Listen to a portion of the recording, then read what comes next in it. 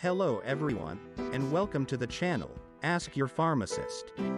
As you all know very well, that colic pain, digestion problem and appetite problems are very common in babies.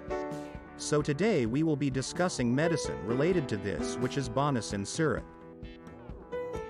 We will discuss its ingredient, uses, dose and all other information related to it, but before that, do like and subscribe the channel. Bonnisan liquid is a special formulation made to solve digestive complaints, reduces colic, improves appetite, and supports digestion in infants and in children. Apart from other ingredients, it consists of three main ingredients. Dill oil, cardamom, and long pepper. Dill oil has potent antispasmodic properties, which helps to relieve gas and supports digestion. Cardamom has carminative and digestive properties, thereby helping improve appetite and promoting digestion. Long pepper, used in treating common digestive ailments. It helps in abdominal pain, thus relieving colic pain. Before discussing the dose, let's see uses and key benefits of Bonnisan syrup. Bonnisan syrup is effective in relieving common digestive issues by supporting the natural digestive system. Helps reduce gastrointestinal disorders in children like infantile colic, poor appetite, etc.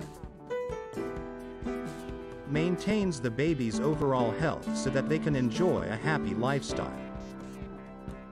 Enables the normal physiological functioning of the digestive tract.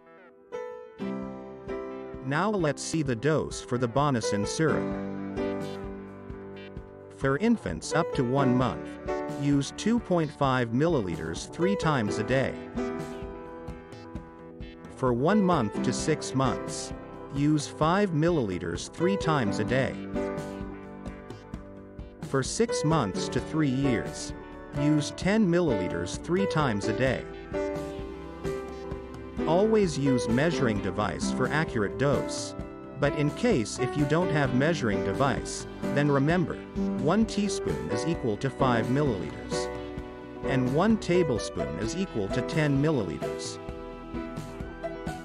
Remember, always to consult your doctor or pharmacist before giving the medicine. The dose here is given, according to literature of medicine, and may vary according to weight and condition. Thanks for watching the video. We bring all information after research.